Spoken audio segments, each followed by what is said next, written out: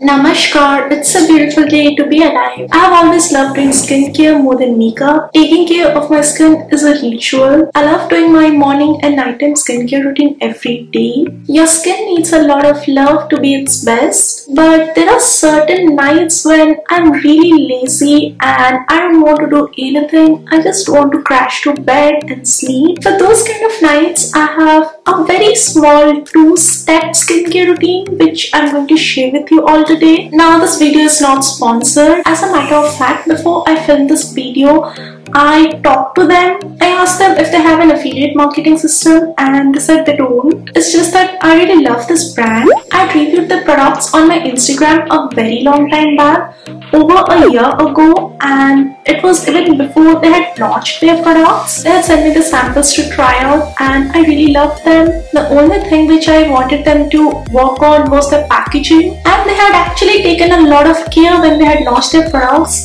I really love that their outer packaging is like a handmade recyclable sort of cotton and they're also SLS free, paraben free, not tested on animals. So I get that you know sort of positive vibes from them. So without any further ado, let's jump right into the skincare routine. It's very important to clean your skin before you go to sleep. If you're wearing makeup, you have to remove it first. I really love double cleansing my skin, but on this particular night, I did not have any makeup on. So I'm directly jumping into my face wash. Even though I hadn't applied anything on my skin, I want to wash off all the natural oil pollution. This face wash is very mild on the skin. It's actually one of the mildest face washes which I have ever used. It doesn't dry out your skin at all and it's gonna work well on sensitive skin because it's very mild. After washing the face, I use the moisturizer. The main ingredient in this moisturizer is tea tree. I have acne prone skin and tea tree works really well for me. This moisturizer is very lightweight. It absorbs very easily into my oily skin without making it greasy.